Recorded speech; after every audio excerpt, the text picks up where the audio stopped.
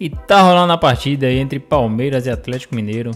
O Hulk acabou de ser expulso aí por reclamação e saiu pistola aí muito puto, revoltado com a arbitragem. Veja o lance que o Hulk foi expulso e dê a sua opinião se você acha que foi justa a expulsão.